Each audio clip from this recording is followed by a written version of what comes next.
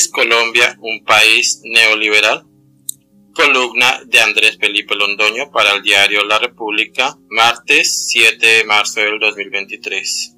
El nuevo enemigo cotidiano del petrismo es el neoliberalismo. Según el Twitter del presidente y de su séquito de políticos e influencers, el neoliberalismo es culpable de todos los males de Colombia, incluyendo las consecuencias negativas de la pandemia, el reducido número de pensionados, el bajo desarrollo del campo, el desempleo, la crisis alimentaria, la inseguridad en Bogotá y hasta la desviación de Río Cauca. La abolición de todo lo neoliberal parecería ser entonces la receta obvia para arreglar el país. ¿Es Colombia un país neoliberal? El neoliberalismo es un término que usualmente recoge ideas que favorecen, primero, la reducción del tamaño del Estado, la austeridad fiscal, el recaudo minimizado de impuestos y la privatización.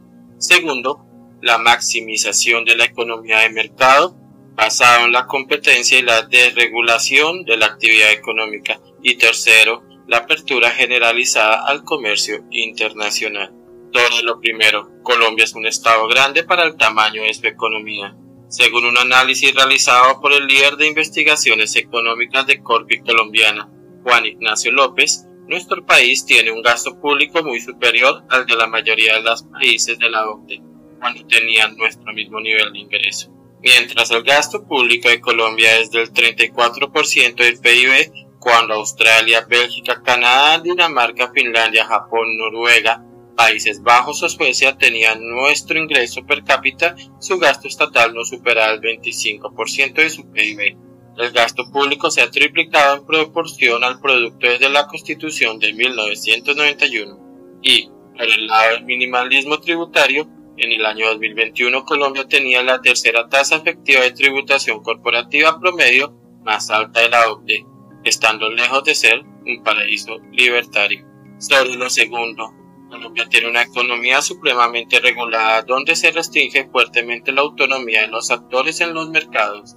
Tenemos una regulación siempre creciente, más aún desde la Constitución de 1991, desde la cual existen 2.276 nuevas leyes y más de 62.000 decretos expedidos desde dicho año, de los cuales 13.357 de contenido sustancial estaban vigentes hasta el año 2019 según el Observatorio de Mejora Normativa del Departamento Nacional de Planeación. Las más diversas actividades, tales como los servicios financieros, la salud, la educación, la producción y distribución de alimentos, la producción de hidrocarburos, el arrendamiento de bienes inmuebles, el transporte o el servicio doméstico están ampliamente reguladas, restringiéndose desde varios frentes la voluntad privada e imponiéndose significativas barreras de entrada.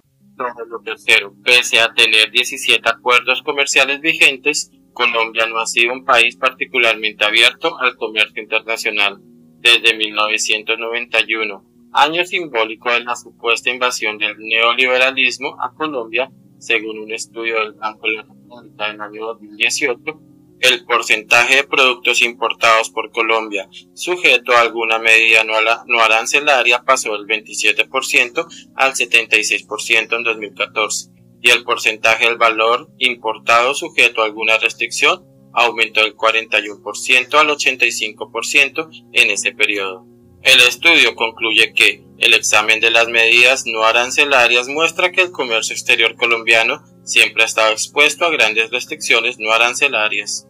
No, por donde se le mire, Colombia no es un país neoliberal.